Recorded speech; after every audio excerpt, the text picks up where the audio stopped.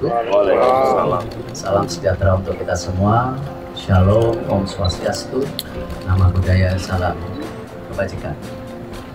Tentu tadi Alhamdulillah, sebenarnya saya udah pernah keliling di sini beberapa bulan yang lalu.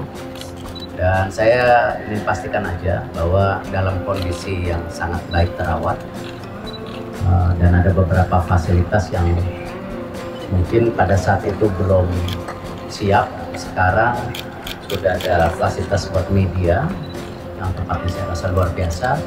Dan sekalian pengecekan ruangan untuk nantinya FAT ya walaupun untuk konteksnya itu tidak bisa dilakukan saat ini tetapi tahun depan paling tidak FAT itu sudah siap. Karena memang seperti kita ketahui bahwa standarisasi stadion-stadion di Indonesia harus berkualitas internasional ini sejalan dengan blueprint yang disampaikan oleh PSSI kepada FIFA. Dan waktu itu juga dukungan penuh Bapak Presiden Jokowi ya, dengan Menteri PUPR yang akan merenovasi 22 stadion untuk kepentingan tim nasional Liga 1 dan Liga lainnya. Makanya kita memberanikan diri juga menggunakan VAR di tahun depan. Nah ini mungkin konteks yang utama tetapi juga ini kesempatan yang luar biasa buat kota Solo yang mempunyai stadion standar internasional ini. Artinya apa? Pertandingan-pertandingan internasional bisa dilakukan di kota Solo. Dan inilah kenapa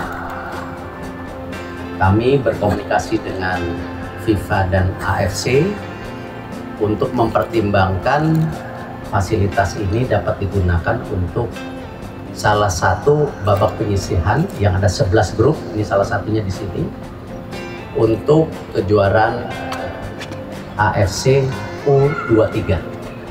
Dan tentu saya berharap, tentu masyarakat Solo yang terkenal ramah tamahnya dan supporter bolanya ini bisa benar-benar mempersiapkan diri menjadi tuan rumah yang baik ya menerima, menjamu, mengawal semua segala pertandingan bisa berjalan dengan baik. Jangan sampai kepercayaan yang diberikan kepada kita baik di dalam negeri dan internasional apalagi saya memastikan AFC dan PSSI sudah kembali menunjuk Solo dan ini saya rasa perlu benar-benar dijaga ya jangan sampai sepak bola kita ada persepsi negatif di luar. Ini yang kita buka. Dan alhamdulillah saya didampingi oleh pemerintahan dari Solo, ada Pak Wali Kota, ada Pak Danrem, Pak tentu pimpinan yang lain di sini ada Expo juga ya untuk memastikan tadi selanjutnya kita akan melihat juga nanti fasilitas kesiapan hotel-hotel yang akan tentu kita kerjasamakan ya kita masih menunggu hotel-hotel mana yang mau kerjasama dengan PSSI dan AFC untuk sebagai tempat tim daripada tamu ini bisa hadir di sini. Nah, memang ada catatan yang saya uh, dapat sampaikan kemarin bahwa karena ini juga tahun politik, ya, apalagi kita masih dalam pantauan FIFA karena peristiwa Kanjuruan ya dan suratnya FIFA ada. Nah, Liga ya memutuskan memang karena untuk konteks keamanan sementara pertandingan yang tentu kandang itu dihadiri supporter daripada tuan rumah. Jadi supporter tamu belum. Hmm. Nah ini bertahap ya, jangan juga nanti persepsi dari supporter seakan-akan kita tidak melakukan. Ingat kita masih ada peristiwa kanjuruan yang memang menjadi paradigma negatif untuk FIFA. Karena itu ketika kita tidak dihukum, nah FIFA sekarang memberi kesempatan liganya boleh jalan, pertandingan internasional jalan, tapi bila ada kerusuhan seperti akhir musim kemarin, akhir musim kemarin banyak banyak kerusuhan loh, ada di Semarang, di mana-mana. Percaya, FIFA akan memberhentikan seluruh sepak bola di Indonesia. visi PSSI ingin memastikan supporter pulang ke rumah selamat. Jadi ini mesti sejalan. Karena itu pada press conference hari ini juga saya mengajak ya, pihak Polri, TNI, dan tentu tuan rumah untuk memastikan hal ini. Ya, jangan kita jadi bangsa pelupa. Ya, seakan-akan tidak terjadi apa-apa kemarin 135 orang meninggal. Jangan jadi bangsa pelupa. FIFA tidak lupa. Ya. Nah, karena itu mohon dukung liga. Kami PSSI sudah mendukung liga karena ini liga dikelola secara profesional. Ya, PSSI cuma punya saham satu persen luar biasa di negara-negara lain itu ya liga itu mayoritasnya sahamnya PSSI sedangkan studi banding.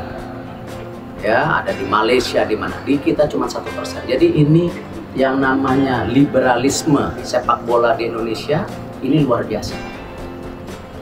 Tapi apakah liberalisme ini menjawab keamanan standarisasi yang diingini FIFA? Belum. Belum.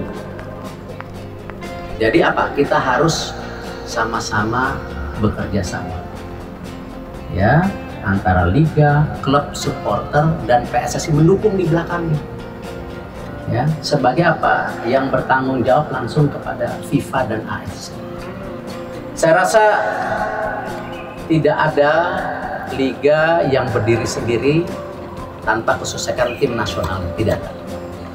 Kita itu dipandang dunia karena tim nasionalnya baru liganya nah inilah pertama kali PSSI bersama liga dan badan tim nasional yang sudah dibangun itu bersepakat bahwa seluruh klub mandatori saya ingatkan pemilik klub mandatori mendukung tim nasional ya apalagi jadwalnya sudah disepakati jauh-jauh hari bukan mendadak Ya, sebelum liga mulai, jadwal tim nasional kita sudah berikan. Nah, jadi tidak ada alasan ya klub-klub tidak melepas pemain. Melepas pemain, saya turun tangan langsung. Ya, merah putihnya bagaimana? Karena jadwalnya sudah ada. Kalau dulu ketika jadwal tim nasional belum diatur dengan baik oleh PSSI, itu salahnya PSSI. Kalau sekarang jadwalnya sudah benar-benar diatur ya di situ jelas ada bulan Juni ini tidak mengganggu liga tetapi di bulan September, Oktober, November bahkan juga Desember, Januari liga harus punya komitmen. Dan sudah disepakati. Karena rencana untuk kejuaraan Asia di bulan Januari itu kita akan ada training camp kurang lebih tiga minggu yang dimulai tanggal 20 Desember ya di sebuah negara saya belum bisa umumkan baru kita ke Qatar. Lalu di beberapa pertandingan FIFA Matchday pun kita minta satu dua hari ya tim nasional ini latihan untuk mulai main. Karena jangan sampai tim nasional kita kalahan. Ya kita akan menghadapi Palestina di Surabaya sama stadion yang sudah standar FIFA. Ya itu ada di Surabaya 14 Januari lawan Palestina dan di Gelora Bung Karno lawan tim Argentina tanggal 19 Januari. Lalu ada ini, tetapi juga kita sedang menyiapkan juga pertandingan-pertandingan lainnya. Salah satunya Oktober November itu babak kualifikasi Piala Dunia 2026. Ingat, ini pertama kali FIFA menambah jumlah peserta menjadi 48 Asia punya kesempatan delapan setengah. Dari delapan setengahnya itu playoff.